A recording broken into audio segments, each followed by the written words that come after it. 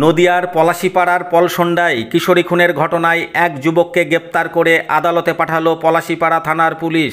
ধৃতের নাম অলি উল্লাহ মল্লিক। তার বাড়ি পলসন্ডার পশ্চিম পাড়ায় শুক্রবার তাকে তেহট্ট মহকুমা আদালতে পাঠানো হয়। পুলিশ সূত্রে জানা গেছে, ঘটনার তদন্তে নেমে ঘটনায় জড়িত সন্দেহে ওই যুবকসহ আরও তিনজনকে পুলিশ আটক করে। তাদেরকে জেরা করার সময় ওই যুবক খুনের কথা স্বীকার করে। এরপরেই ওই যুবককে গ্রেপ্তার করা হয়।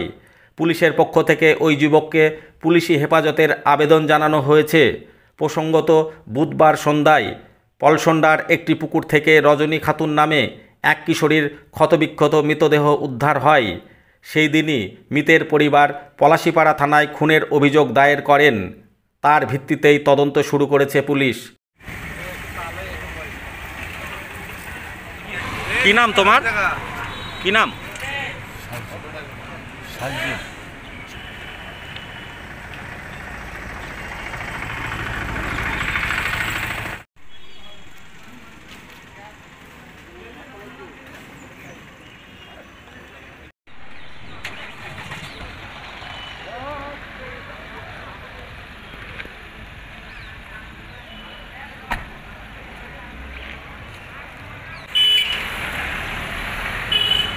যদি এখনও আমাদের খবরে দর্পণ চ্যানেলটি সাবস্ক্রাইব না করে থাকেন, তাহলে এখনই সাবস্ক্রাইব করুন, সঙ্গে বেল বাটনটি ক্লিক করুন আর পেয়ে যান সব খবরের দ্রুত ভিডিও আপডেট।